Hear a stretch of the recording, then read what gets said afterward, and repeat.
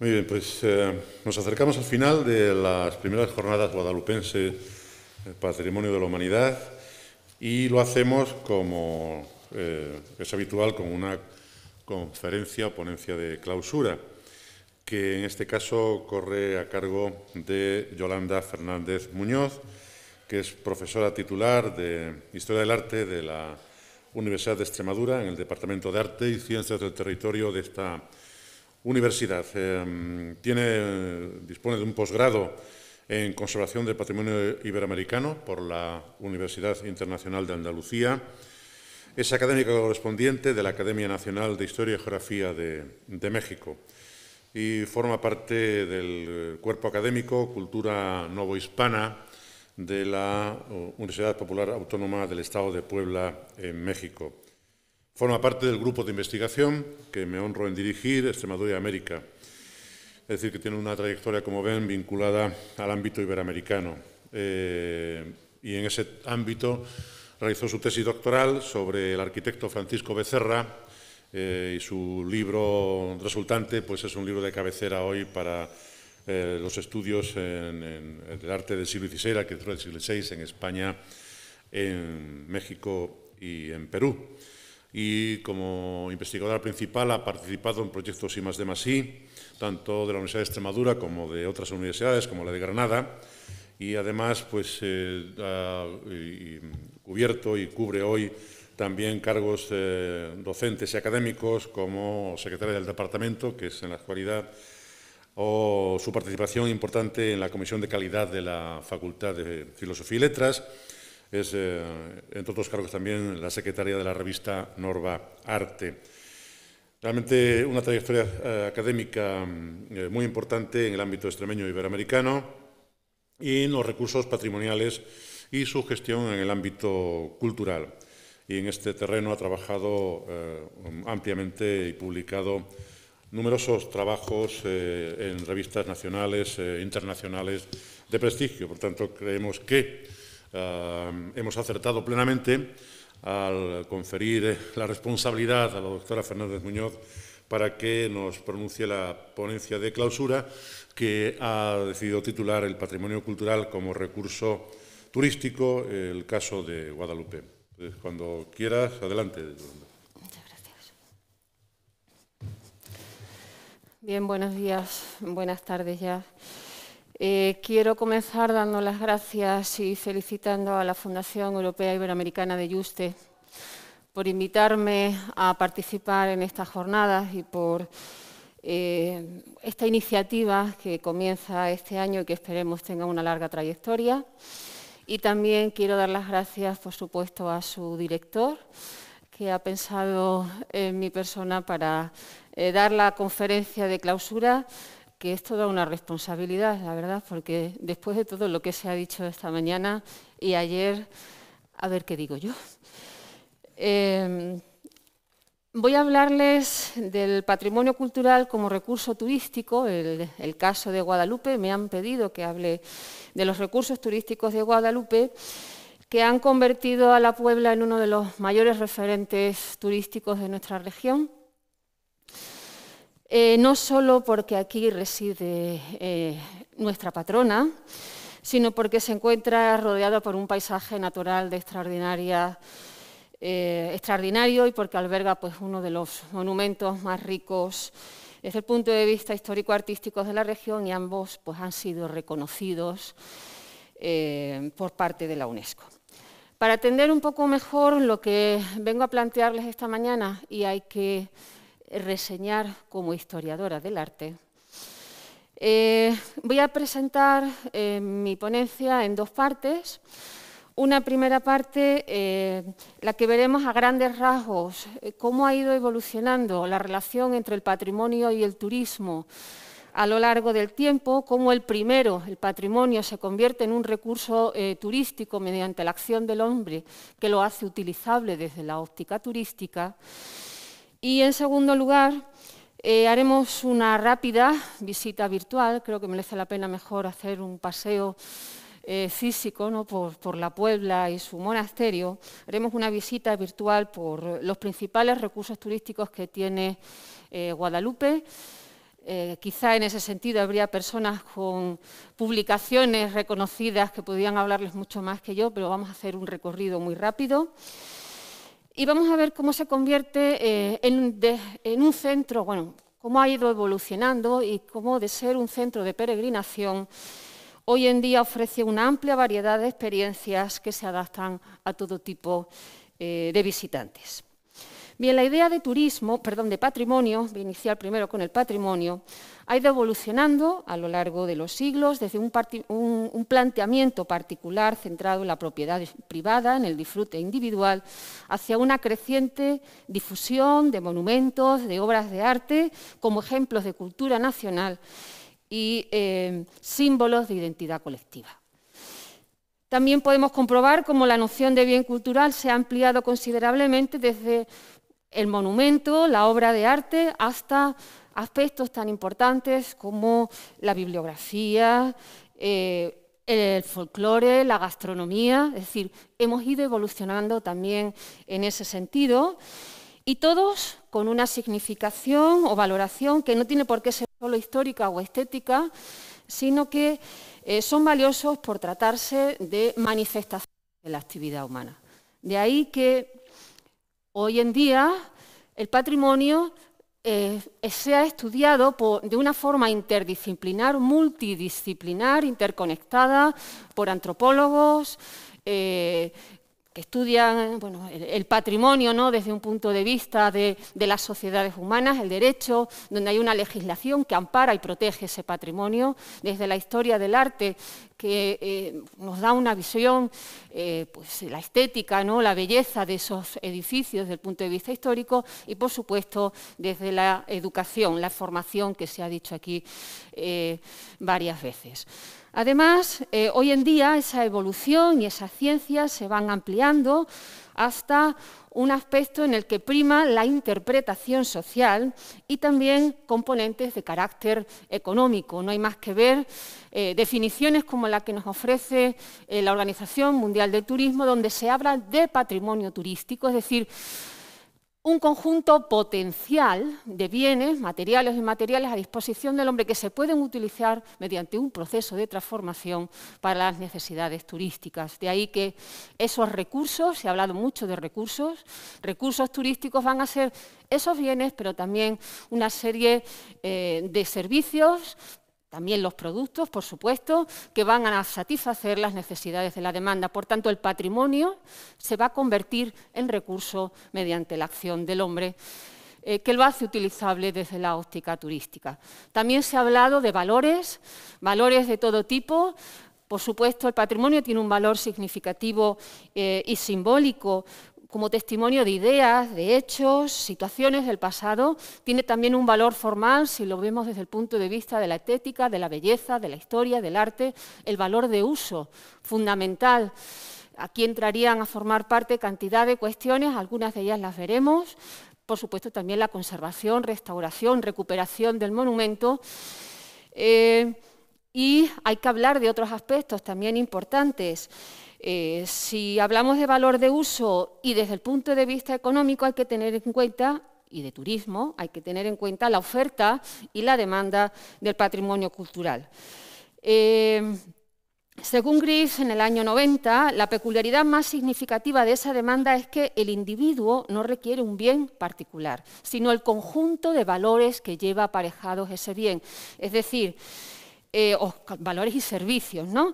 Es decir, cuando visito una catedral, cuando visito un museo, el edificio histórico, mm, no se demanda solo el bien en sí, sino todo lo que eso conlleva, es decir, eh, la estética y la artística, por supuesto, el valor de formación, que también aparece en la pantalla, el valor social y el valor de identidad, el valor económico, si hablamos de turismo, pero además de dos tipos. Eh, las rentas directas, se hablaba también antes ¿no? de ese valor económico, las rentas directas, es decir, las entradas producen un, eh, aporte económico, pero también todo lo que eso lleva aparejado, es decir, eh, todos los servicios de alojamiento, restauración, etcétera, etcétera. Por tanto, estamos hablando de un importante valor de ese patrimonio que ha ido evolucionando a lo largo del tiempo y que nos dan una noción de bien cultural y de patrimonio cultural completamente diferente, como el conjunto de manifestaciones y objetos que nacen de la producción humana que una sociedad ha recibido como herencia histórica y que constituyen elementos significativos eh, de identidad, con valores, por supuesto, por supuesto, históricos, artísticos, pero también sociales, económicos, y que forman parte inherente del turismo cultural. ¿Cuándo surge el turismo cultural? Aquí se ha hablado mucho de turismo cultural, pero como historiadora del arte no me queda más remedio que hablar un poco de dónde viene todo eso, para llegar después a, los recursos turísticos que vamos a ver más en, Guadalupe. ¿no? El fenómeno del turismo cultural, eh, a pesar de, haber conseguido hace relativamente poco tiempo un reconocimiento específico por parte de la industria turística y por las administraciones, el origen eh, se remonta pues a esos recorridos que hacían los viajeros por Italia, Grecia, Egipto, Tierra Santa y que van a plasmar en sus obras en grabados como este de Piranesi, en eh, pinturas como eh, las de Canaletto, en eh, científicos como Galileo, Galilei, Vivaldi, es decir, viajeros que van a desplazarse a diferentes lugares del mundo, fundamentalmente en la zona de la antigüedad clásica, y que van a plasmar escritores como, como Goethe, ¿no? que se representan además rodeados de esas eh, bellezas artísticas, de esos eh, restos arqueológicos. Incluso eh, Lord Byron, por ejemplo, en un viaje de iniciación hasta Jerusalén, ¿no? aparece representado de esa forma. Chateaubriand, que incluso llega a viajar hasta, hasta Jerusalén, o zonas más exóticas, bueno, perdón, antes de eso, el propio Velázquez, un artista que, viaja hasta Italia para entrar en contacto con el mundo clásico, aprovechando y para formarse, ¿no? aprovechando el encargo de comprar obras de arte para eh, la Pinacoteca Real, hoy eh, Museo del Prado, y eso sí decía, hacia zonas eh, más exóticas, como puede ser, por ejemplo, la Polinesia. Esas visitas culturales eh, serían motivadas eh, por el deseo de conocer otras culturas, de formarse, de saber. Eh, y van a tener su iniciación, se ha comentado también aquí, en el Grand Tour. La primera vez que aparece citado el Grand Tour será en el año 1670, en esa publicación que ven a la izquierda, el viaje a Italia de, 1600, de, perdón, de, de, Lascelles, y que como todos saben, era un viaje eh, emprendido tradicionalmente por Europa, por esos aristócratas, los jóvenes aristócratas, principalmente eh, británicos, eh, que podía variar entre seis meses, varios años. Tenemos algunos de ellos aquí retratados y que se querían acercar precisamente a esas culturas para aprender idiomas en un momento en el que las universidades en Inglaterra tenían un cierto, eh, digamos, eh, habían caído o, se habían deteriorado ligeramente. Incluso vemos cómo eran los transportes de la época y cómo preparaban esos viajes. Como decía el profesor campesino, estos viajes van a perdurar hasta el siglo XIX, cuando el eh, ferrocarril de largo recorrido eh, comienza a funcionar eh, y quiero citarlos precisamente porque la Organización Mundial del Turismo en el año 1993 reconoce que este Gran Tour, estos viajes del Gran Tour, eh, son el antecedente del turismo cultural. En España serán pocos los que van a imitar estas costumbres comienza un poco a, reflejarse también esa idea ¿no? de atraer extranjeros y que se lleven la cultura y, transmitan lo que tenemos al exterior. Artistas como eh, Manet, con esos tipismos, ¿no? Eh, regionalismos españoles, o David Roberts, eh, que representa esos paisajes, en este caso de Andalucía, y esas obras vuelven a su país de manera que está difundiendo un patrimonio escritores eh, como Gautier, en ese eh, viaje a España, pero también Extremadura será representada eh, en, sí, será representada con grabados como los que ven. no voy a, leer porque tenía pequeños párrafos, pero como vamos mal de tiempo, lo podrán ver más adelante en ese viaje pintoresco e histórico eh, de España, viajeros como este eh, francés o también Gustave Doré y Davilliers en, ese viaje de España, donde también habla sobre Guadalupe, sobre el monasterio, las riquezas eh, que tienen los jerónimos y que saben cuidar, incluso relaciona con que tienen oficios que son más de una ciudad, más propios de una ciudad de que de un monasterio. También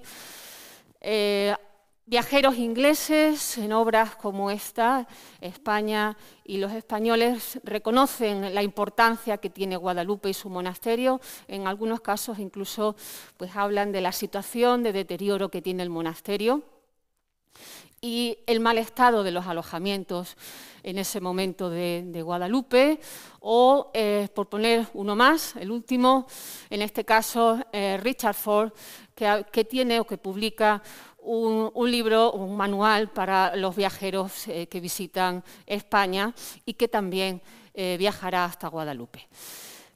En ese momento hay incluso semanarios como este, esta España pintoresca, donde vemos representado eh, el monasterio de Guadalupe, el número 33 del año 47, y solo poco tiempo después también encontramos, por ejemplo, eh, la granja eh, de Mirabel representada en esa revista, es decir, publicaciones que van a difundir un patrimonio, como ya se ha hablado también en una intervención anterior de algunos compañeros. Pero si hablamos de esa relación entre patrimonio, turismo, cultura y turismo, en España realmente eh, podemos decir que a nivel institucional no se va a dar hasta el año 1900. Eh, y el conde de Romanones unifique en el Ministerio de Fomento las competencias de patrimonio y turismo, iniciando su catalogación de riquezas históricas eh, y creando en 1905 la Comisión Nacional eh, de Turismo. En el Real Decreto dice, como tienen en la pantalla, la finalidad sería entre otras cosas, fomentar en España las excursiones turísticas y de recreo para un público extranjero, así como la formación y divulgación en el extranjero de itinerarios de viajes para visitar y hacer más fácil y provechosos esos viajes. La difusión empezará por revistas como estas que se publican en Francia, donde se difunde ese patrimonio eh, español. Y solo unos años después, en 1911, se crea la Comisaría Regia, también con una serie de em, criterios muy claros donde no lo, voy a leer, se pretende difundir el patrimonio, vigilar su conservación, eh, promover las relaciones internacionales, eh, crear alojamientos y, una serie de infraestructuras que mejoren el turismo y que mejoren pues, eh, la comodidad de ese visitante que viene a España y, por supuesto, eh, utilizar una serie de, métodos que sean eficaces para que se puedan mantener esas relaciones con, América eh, que se lleva, bueno, que venían manteniéndose desde, el siglo, desde el siglo XV. Para ello, uno de los personas más relevantes en este sentido y quiero destacar su figura como viajero, militar, pintor y un verdadero amante eh, de la cultura eh, y de eh, la imagen cultural de España en el extranjero es Benigno de la Vega Inclán. Va a llevar a cabo una serie de labores que son fundamentales y que quiero traer porque están relacionadas directamente con Guadalupe. Eh, y además, a mm, De la Vega Inclán se le considera eh, el promotor o el creador de la idea de turismo tal y como hoy eh, la conocemos. De la Vega será el responsable de elementos como este, ¿no? de la creación, decía, de una serie de infraestructuras cómodas para el viajero, turismo o hoteles de calidad como puede ser el Palace de Madrid, que se, crea, no se construye en 1912, por supuesto, toda la red de paradones nacionales eh, de turismo. El primero sería ese que ven en el cartel, el Parador de Gredos del año 28. Y es importante destacar cómo esa red de, de alojamientos tenía una filosofía clara, que sería la recuperación de edificios históricos para darle un uso turístico, en este caso alojamiento, facilitando a la vez la visita a extranjeros en zonas donde no llegaba eh, la industria privada. De esa manera, bueno, la industria privada porque no lo consideraba rentable y en este caso llegaba, llegaría a la administración pública.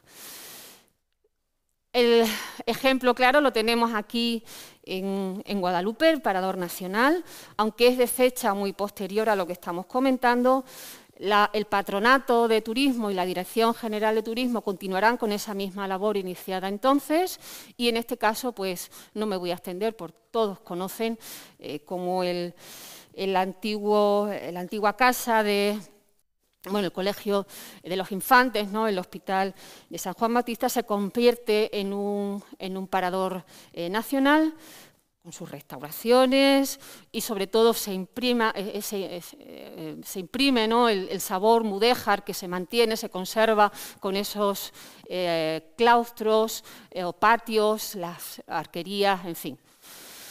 Y también en el caso de la hospedería, que no es un parador, pero que sigue la misma filosofía de paradores, en este caso Luis Menéndez Pidal en el año 48, eh, cuando realiza el proyecto de reinstalar la hospedería del Real Monasterio en el claustro gótico y una serie de dependencias anexas, aunque ya en los años 20 se ofrecía al viajero la posibilidad pues, de hospedarse en este lugar, un hospedaje que denominaban clásico y a la moderna en los años 20.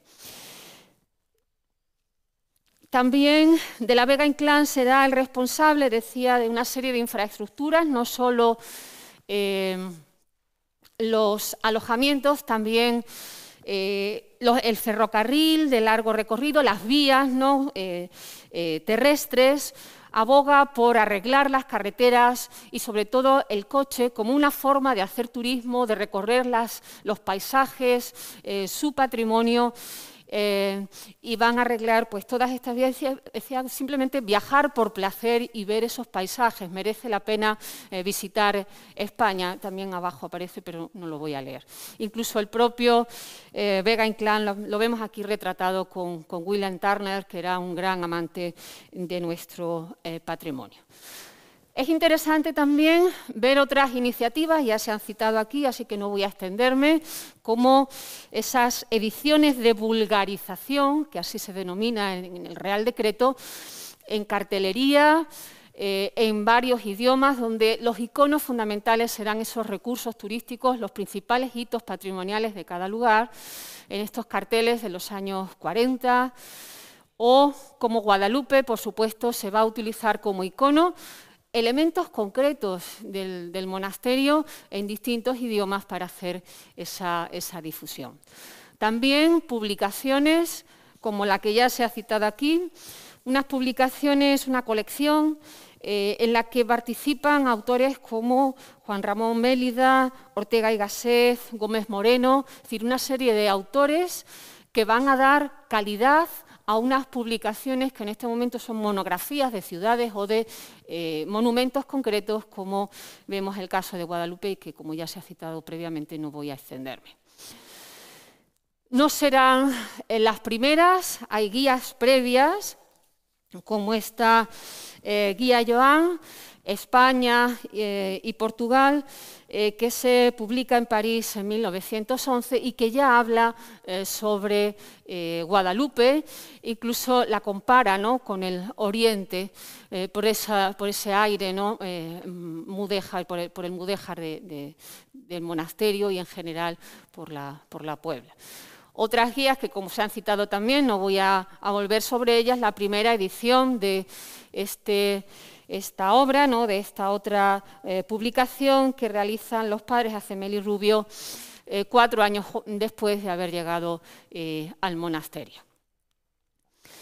Por supuesto, hay que citar el catálogo monumental de España, que empieza, como ven, entre 1900 y 1961, y en el caso de la provincia de Cáceres, que como saben sería José Ramón Mélida el encargado de realizarlo también en estos años, 1924, donde aparece eh, eh, Guadalupe. Y además eh, cítanos como en estas fechas eh, está mejorando mucho la difusión, se tiene más conocimiento eh, del monasterio, de su historia, y eso va a mejorar considerablemente también eh, pues la llegada de visitantes a Guadalupe. Otras publicaciones, apologías turísticas de España, un poquito posteriores, a base de imágenes, fotografías que representan esos monumentos, o esta eh, nueva apología turística de España ya de los años 50. Eh, Otra de las labores de eh, la comisaría y de Vega Inclán será la exposición fuera de nuestras fronteras de nuestro patrimonio español y extremeño, por supuesto en Londres en 1914, una exposición que tuvo que clausurar antes eh, de tiempo por eh, razones obvias, la Primera Guerra Mundial, o, por ejemplo, en el caso eh, de Nueva York. También hay que citar aquí la exposición iberoamericana de Sevilla, donde Extremadura tendrá un papel importante, y el caso de Guadalupe lo vamos a ver incluso en su pabellón. Vemos cómo el encargado de diseñar el edificio, Vicente Traver, se inspira en distintos edificios singulares, monumentales de la región para diseñar ese pabellón y en la imagen de abajo, en la fachada, pueden ver cómo eh, recrea de alguna forma el claustro, las, arquerías, ¿no? en esa galería, las arquerías del claustro mudéjar justo eh, pegado a la torre de los golfines eh, de, de, Cáceres, algo singular. Podríamos seguir analizándolo, pero no es el momento. Eh, la fotografía también es un elemento fundamental eh, de difusión. Guadalupe ha sido visitada por numerosos fotógrafos que han plasmado tanto el monasterio como la Puebla y es un, extraordinario fuente documental para ver cuál ha sido la evolución eh, de, esta, de esta ciudad, de esta villa. Fotógrafos como Otto Wunderlich, en esas imágenes o aquí, ¿no? que se están utilizando mucho para la restauración eh, monumental, como eh, eh, han realizado ¿no? los compañeros como Pilar Mogollón, utilizan precisamente estas imágenes para, documentar todo este tipo de cuestiones. Aurelio Colmenares, Orgaz y Polentinos, pues será otro de esos fotógrafos, Juan Miguel Pando Barrero, que también nos muestra cómo estaba el monumento en 1964 y podíamos seguir, pero no es el momento porque no tenemos tiempo de ver eh, muchas más cosas, pero precisamente estas imágenes se van a utilizar como un fondo documental fundamental para la historia de España y pueden encontrarlas en el Instituto de Patrimonio Histórico eh, y en su web, ¿no? en la hemeroteca. Otra de las acciones de la comisaría serían las obras de conservación eh, de monumentos y bellezas artísticas. Este señor estaba muy preocupado por la conservación de los monumentos y se va, a buscar los medios necesarios para su divulgación eh, y obtener así una serie de recursos económicos para dicho fin. Se convierte en promotor de la restauración de numerosos edificios históricos, por poner un ejemplo, esta sinagoga del tránsito, también eh, el patio del yeso de Sevilla o la Alhambra eh, de Granada, y se hará lo propio en Guadalupe, también en esas mismas fechas, entre el 26 y hasta la Guerra Civil.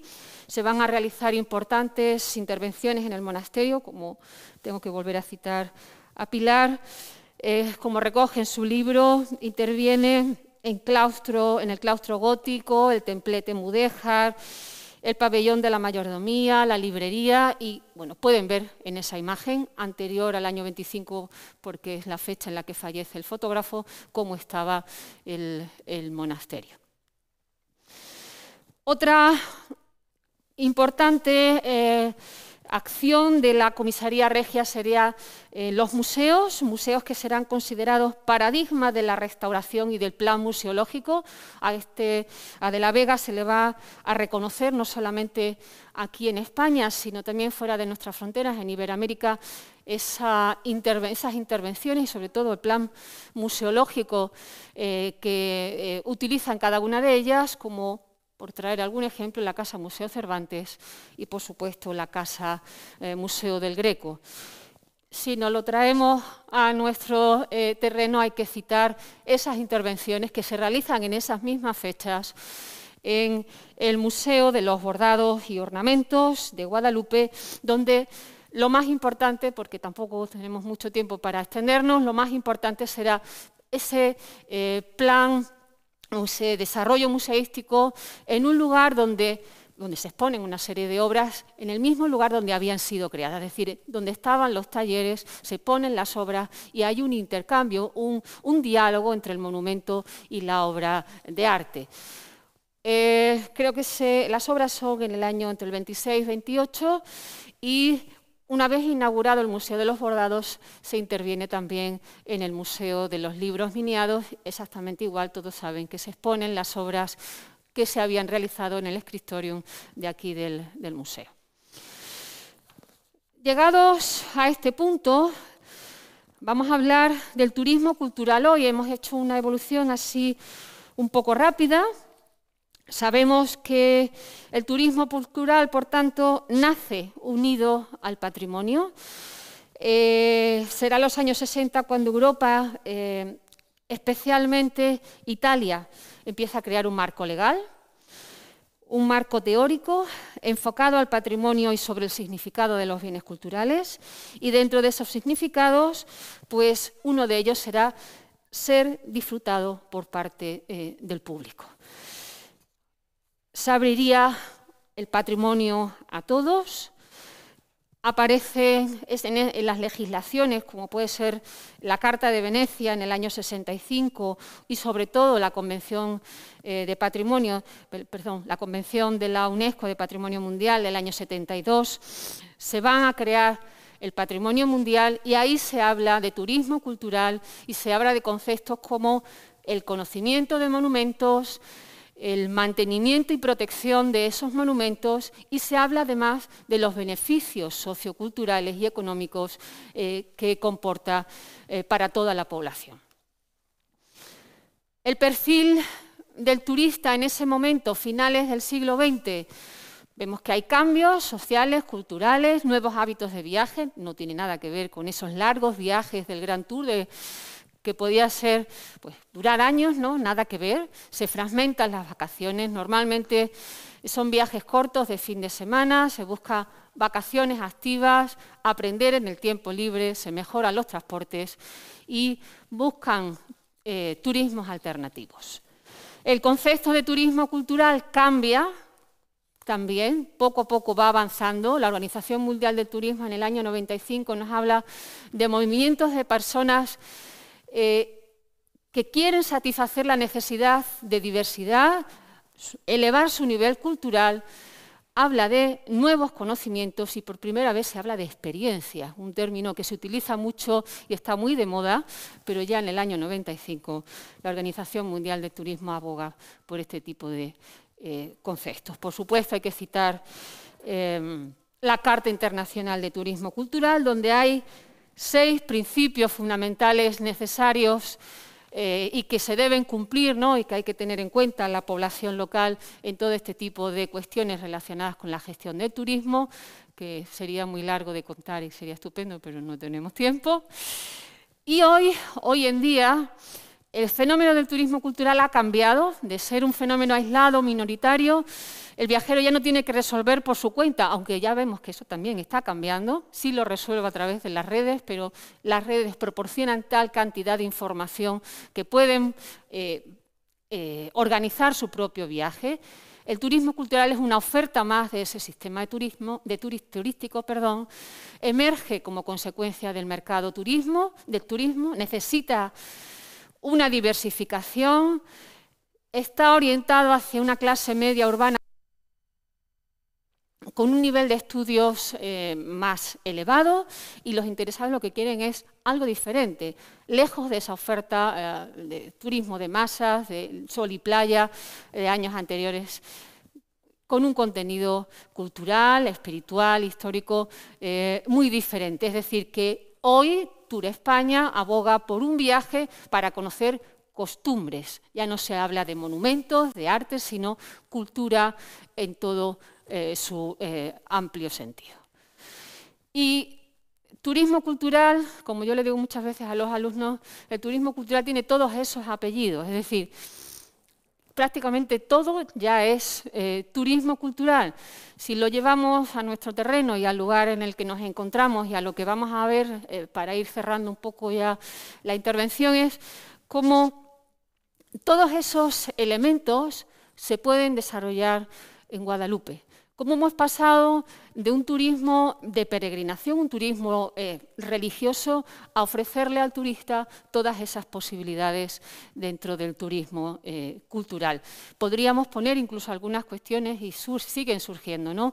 pero un poquito más, más específico. En el caso de eh, Guadalupe, los recursos turísticos de Guadalupe, no puedo entrar en detalles porque no tenemos tiempo, he querido poner a la izquierda, en la barra que ven, de alguna forma, eh, qué relación tienen o qué terminología podría eh, darse a esos, a esos, tipos de turismo dentro del turismo cultural. Sabemos que eh, la Puebla de Guadalupe es un conjunto que reúne pues, todas esas variables arquitectónicas, culturales, medioambientales, sociales, tradicionales, y que la Puebla eh, nace y crece alrededor del Real Monasterio, que toma el nombre del río en el que apareció la Virgen, eh, la Virgen María, que como también saben, eh, halló milagrosamente el pastor cacereño Gil Cordero y que a partir de ahí surge la primera ermita y un gran fervor devocional irá evolucionando el edificio, se construyen otros posteriores, creo que del segundo se tienen conocimiento eh, de fechas anteriores incluso a 1326 y que en 1340 Alfonso XI, eh, en agradecimiento por la victoria del Salado, manda levantar el nuevo edificio. Desde entonces ha crecido considerablemente, siglos XVI, XVII, XVIII, con todos esos elementos, cuando llegan los jerónimos, realizan importantes obras, pues, el claustro mudéjar, el claustro eh, gótico, el camarín de la Virgen y un largo etcétera que eh, invito ¿no? a los que no han tenido la posibilidad de, verlo, que visiten el monasterio, que lo vean eh, in situ, que merece la pena, y a los que ya lo han visto creo que merece la pena volver a verlo y si tienen la oportunidad de visitarlo con eh, el padre eh, Guillermo, pues todavía mejor. Por supuesto, eh, la patrona, tenemos que citarla, la Virgen es la protagonista, la principal responsable ¿no? de todo esto, declarada patrona de Extremadura en el año 907, reina de la hispanidad desde el 12 de octubre de 1928 y, Podríamos decir muchas más cosas. El, monumento sabemos que está declarado eh, monumento nacional desde 1879. En fin, esas cosas que no voy a seguir porque ya se han citado aquí. Guadalupe además tiene, bueno, el propio monasterio es un museo, todo el monasterio como tal es un museo. Además, podíamos destacar otros espacios museísticos como eh, la sacristía. Eh, es en realidad una obra de arte en sí, las pinturas eh, murales, los jaspes y por supuesto esas obras de Zurbarán, ese gran eh, eh, una colección de obras que se realizaron, fueron encargadas para ese lugar y se siguen manteniendo en el mismo, en el mismo sitio a pesar de, los años, los libros miniados, el Museo eh, de, Bordados y, por supuesto, el Museo de Esculturas y Pinturas, donde podemos encontrar obras de la talla eh, del Greco, de Juan de Flandes, de Zurbarán, o incluso vemos ahí un Cristo atribuido a Miguel Ángel. Pero eh, Guadalupe no solo es el monasterio, Guadalupe es también su puebla, y así se ha reconocido con otras declaraciones. Eh, como la del conjunto histórico-artístico en el año 43. Sus calles, sus plazas, esa eh, comunicación con el Real Monasterio. Mm, su origen pues, eh, procede precisamente de esos peregrinos que vinieron de, distintos lugares y que han dejado su impronta en esas calles, en esos trazados urbanos. Volveré sobre, sobre, las calles. ¿no? Edificios singulares, volvemos al Parador, la iglesia de la Santísima Trinidad, eh, churrigueresca, eh, que hoy se ha convertido en un centro cultural también, creo que se hacen congresos, se hacen actividades culturales, es decir, le estamos dando un nuevo uso al espacio aparte del religioso. Los hospitales, también se ha citado aquí la importancia que tenían esos hospitales. Eh, Guadalupe fue un lugar de referencia para los estudios de medicina en Europa. Aquí se formaron eh, médicos reales, o sea que también es importante he puesto incluso turismo de salud, bueno, de alguna manera podríamos relacionarlo además de, eh, por su historia. Comentaba antes, hay algunas imágenes más ¿no? de la Puebla. Eh, eh, José Carlos nos hablaba, José Carlos Salcedo, de, toda la importancia ¿no? del arca de agua y de las fuentes y cómo se mantienen incluso desde el siglo XIV hacia nuestros días. Eso no creo que sea muy habitual y es único en Guadalupe. Saliendo un poquito de, la Puebla, a pocos kilómetros hay que destacar otros elementos como eh, el viaducto que nos recibe nada más llegar a la Puebla, nos da la bienvenida. Eh, en desuso, sabemos que iba a ser para la llegada del ferrocarril hasta la población y que hay que destacarlo también porque es un edificio industrial y porque fue uno de los mayores puentes eh, de la España de la época. 274 metros eh, de longitud, 58 de altura, creo que merece la pena también una reseña, y por supuesto los otros tres elementos, el humilladero y las dos granjas, Mirabel y Valdefuentes, declaradas eh, bien de interés eh, cultural en la categoría de monumento en el año 31. Patrimonio intangible, pues actividades ganaderas, agrícolas, forestales, conocimientos tradicionales sobre esas actividades productivas, canciones populares, eh, leyendas, artesanía, calderería, instrumentos, cerámica auténtica, propia de la zona. Creo que Guadalupe también es todo eso. Se ha hablado aquí del oleoturismo, apiturismo, enoturismo, como queramos llamarlo, eh, con tantas cosas ya no sabe uno ni cómo denominar al asunto, gastronomía en general, denominaciones de origen como eh, las que tengo ahí, ¿no? queso de los Ibores, miel, villuercas, Ibores, esa de Extremadura, Ribera del Guadiana y también sus productos, las migas, la morcilla, las roscas, eh, me ha aprendido el nombre, muégados o rosca de piñones de en otros lugares, ¿no?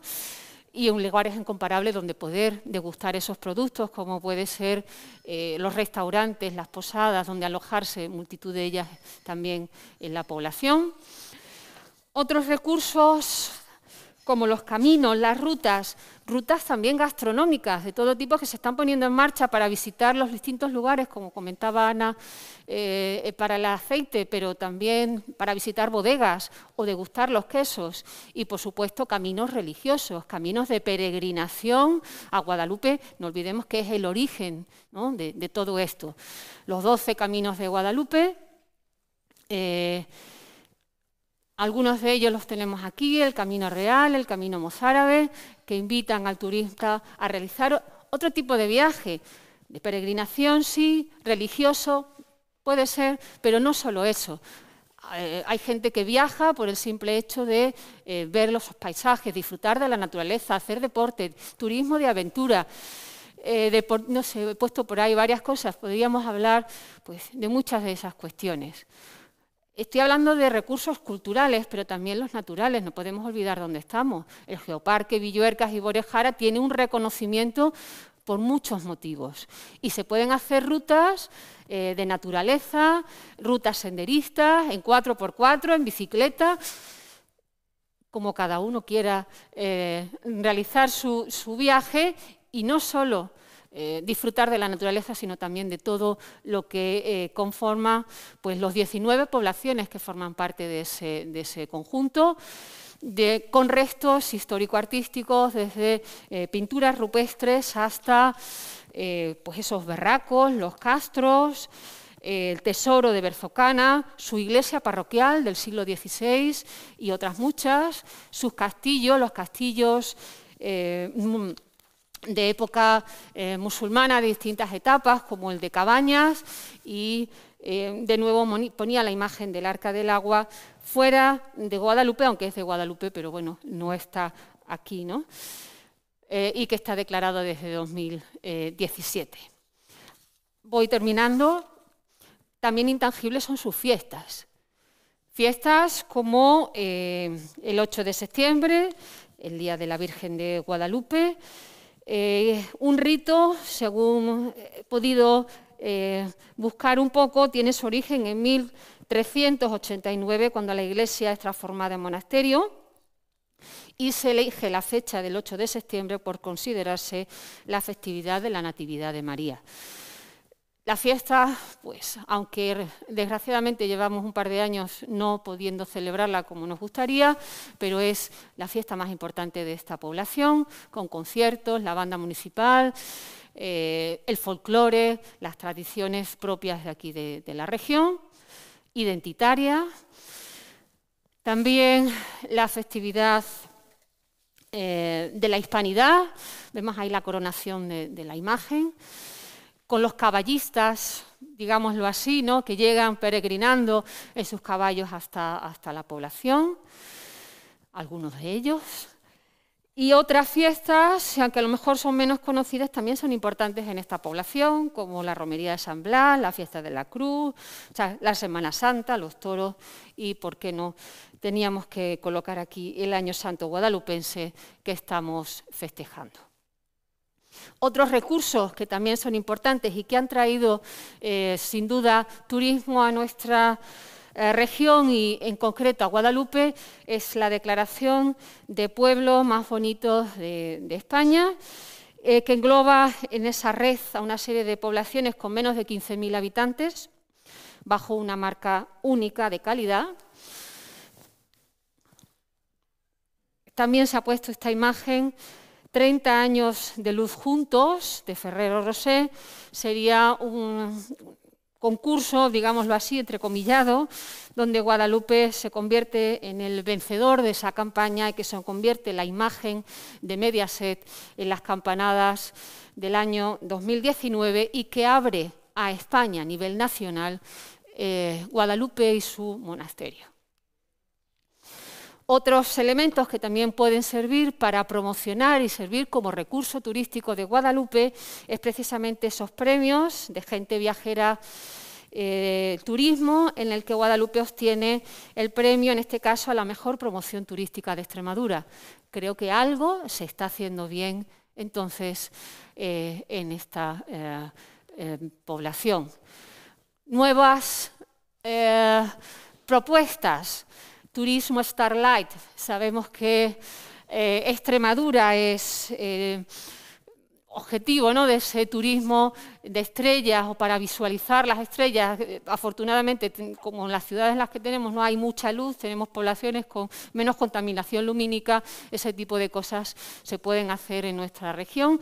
Y, por ejemplo, en la comarca tenemos ya una población, Navalvillar, eh, que está incluida y por último, porque hace 15, 20 días ha sido también Guadalupe la imagen de la Vuelta Ciclista a España, que además la Vuelta ha pasado justo, como ven en la imagen, las fotos son de la televisión, hice las fotos a la tele, por eso son un poco malas, pero pasa justo por el centro ¿no? de, la plaza y de la Puebla. Decían los comentaristas que habían descubierto la gran desconocida, Extremadura, la gran desconocida, no creo que sea tan desconocida, pero bueno, la imagen de Guadalupe ha salido a nivel nacional. Podríamos seguir y contar otras muchas cosas, no hay tiempo, creo que recursos hay muchos eh, y muy diferentes. A modo de conclusión, simplemente pues ver cómo ha sido esa evolución, cómo eh, Guadalupe ha pasado de ser un centro de peregrinación eh, fundamentalmente no religioso a intentar diversificar esa oferta, ofrecer al turista todo tipo de posibilidades. Recursos tiene muy buenos. Se han, aquí, se han, hablado aquí de posibilidades, de qué manera se podía mejorar. Creo que hay otros especialistas que pueden mejor que yo hablar de ese tipo de cuestiones, pero creo que la materia prima eh, la tenemos. Así que nada más, muchas gracias y espero haberme adaptado a tiempo.